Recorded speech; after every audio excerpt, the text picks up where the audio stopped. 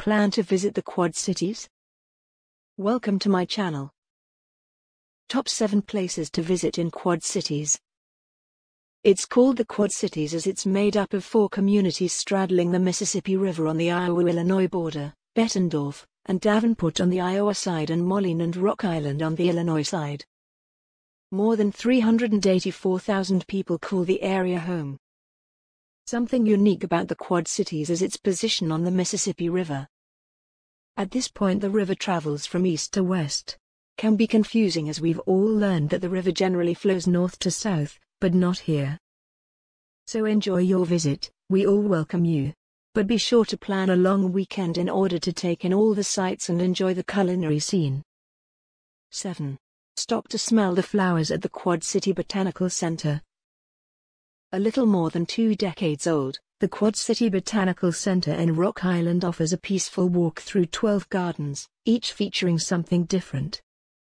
You'll see perennials, wildflowers, conifers, and a seasonal butterfly garden.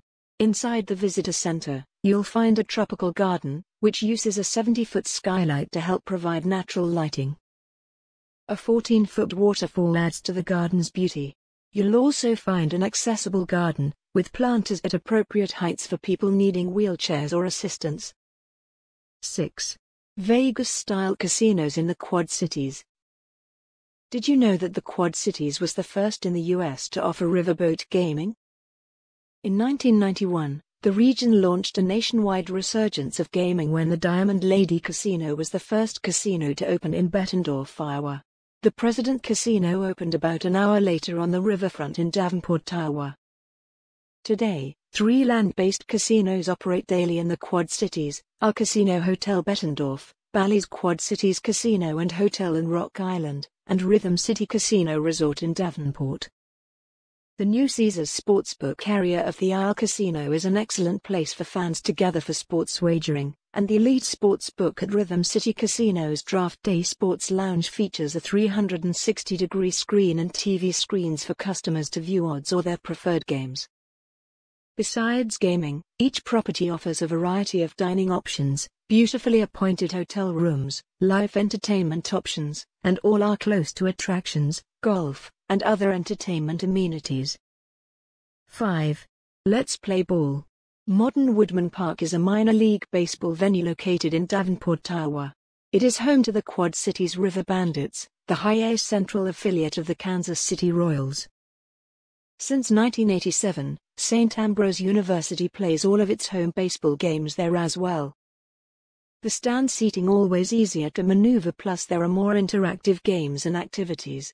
During our visit, the kids were able to throw out the first ball, a most memorable experience. 4. Learn about art and science at the local museums. There are two major museums to visit in Davenport, and you'll want to budget an hour or so at each.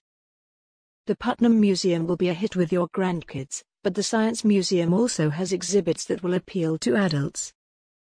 History enthusiasts will appreciate learning about life along the river, as well as life in ancient Egypt and in early Iowa. The Figge Art Museum features paintings from the 15th century onward, including a collection of works by Iowa artist Grant Wood. Oil paintings, sculptures, and even furniture make this spot a focal point of eastern Iowa's art scene. Located a short walk from the Mississippi River, the Figge's contemporary design shines against the backdrop of the river. 3. Adler Theatre the beauty of the original Radio Keith Orpheum's Art Deco style was reflected in its gold leaf ceiling, crystal light fixtures and black ebony, walnut and marble detail. 2. Check out the goods at the original American Pickers store. The History Channel television show, The American Pickers started in the area. The host of the show, Mike Wolfe started out as an antique dealer in LeClaire. Their original store, Antique Archaeology, remains a popular tourist stop where you can find vintage items for sale as well as American Pickers memorabilia. Always fun to browse the unique discoveries available. 1.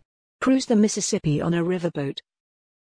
A great way to start your adventures is grabbing an ice cold beverage aboard a riverboat cruising along the Mississippi River.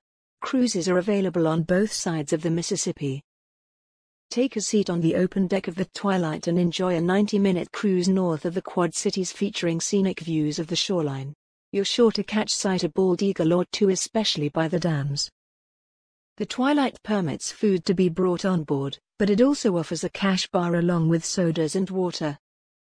On the Illinois side catch a view of the southern end on the Celebration Belle. With three decks, the Celebration Belle launches from Moline and travels south, offering a view of the area's attractions from the river. You'll pass by the historic Rock Island Arsenal, a military installation dating to the early 1830s. Something again unique about the areas is that there are two dams on the river within 10 miles of each other. Nowhere else in the Mississippi is that true. The locals call it the pool. It's like having a recreational lake in a river. Thank you for visiting my channel.